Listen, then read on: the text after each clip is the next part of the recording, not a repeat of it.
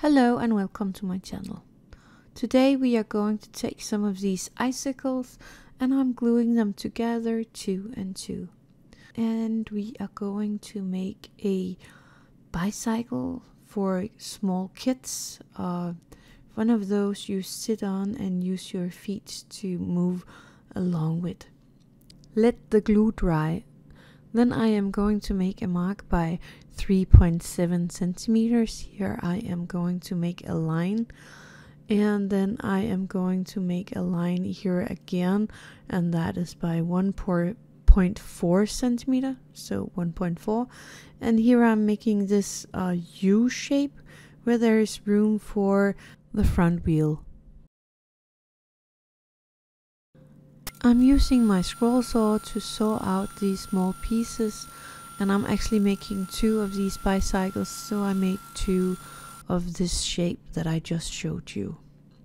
Here I have my parts all done.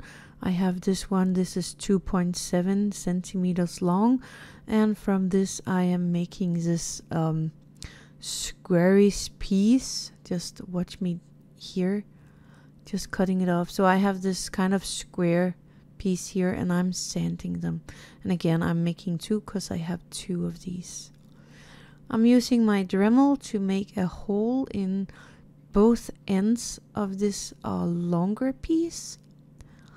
And then I am going to take um, the piece with this funny uh, cutout here and just drill a hole through one of these uh, legs or what you call that. I'm taking my time and then I'm just kind of drilling into the other one but not the whole way through.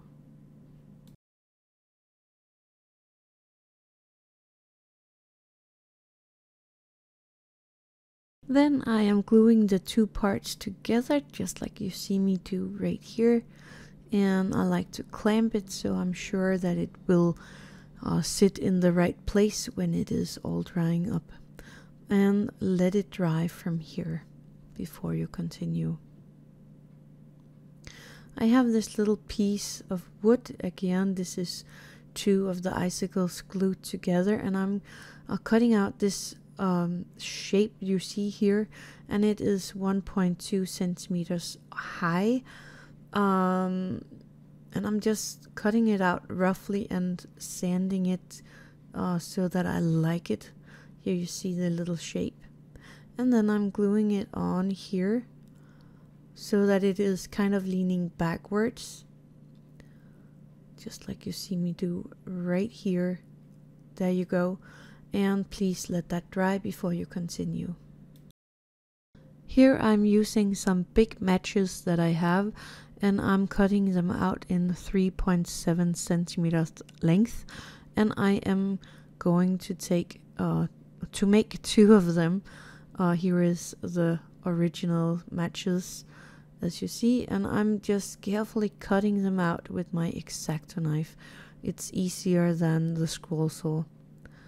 And uh, do this carefully a little from one side at the time so you don't get a squash squished edge on these and I'm sanding the top so they are nice and smooth.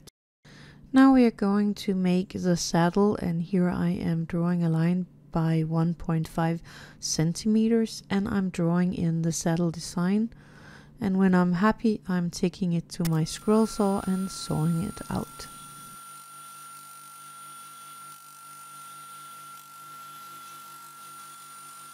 Then I am going to take these parts that I have right here and glue together.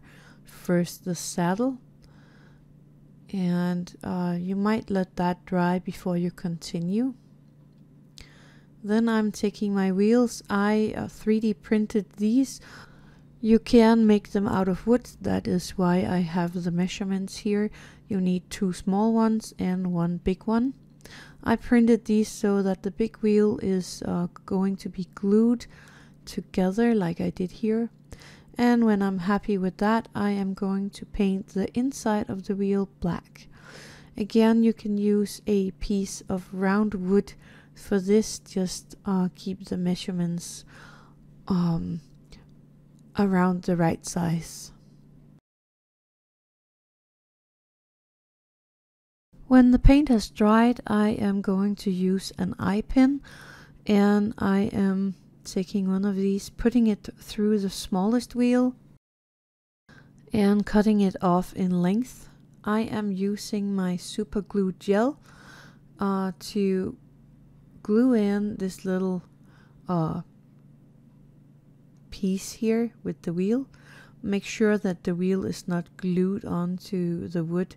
This way you have wheels that can actually turn. And I'm gonna do the same thing in the other end or the other side. The small wheel, cut it off and glue it in place. Then I am taking one of the pieces from the leftover eye pins and I'm measuring here in the front part. I don't want it to stick out on any of the sides. So I'm just gonna cut it into length place the wheel and place the little pin. Can be a little bit tricky but it's working. I'm taking my wood glue again and then I am going to take these sticks here putting a tiny bit of glue and placing it over the hole for the wheel. This way the wheel will be uh, in place and I'm placing it in a bit of an angle and gluing the other one of these on the other side. When that has dried, I am taking another matchstick and these are the regular sizes and I'm measuring so that there is one centimeter on each sides of these two uh, bigger matches so that it is sitting correct and I'm gluing it on the front as you see here and now you need to let it all dry before you start the painting. You can paint this one however you feel like, but here is the way that I did it. So I hope you liked this little video.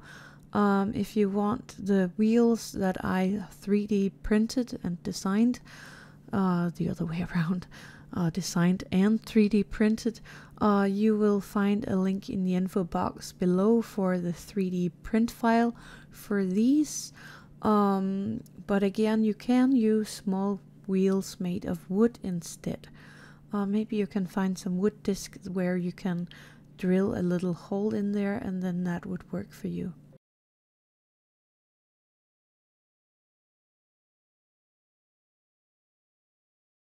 But that was all for today. I hope you liked this little video and uh, please do leave a like if you like it. This way the algorithm knows that you like this kind of content and it will help me out big time.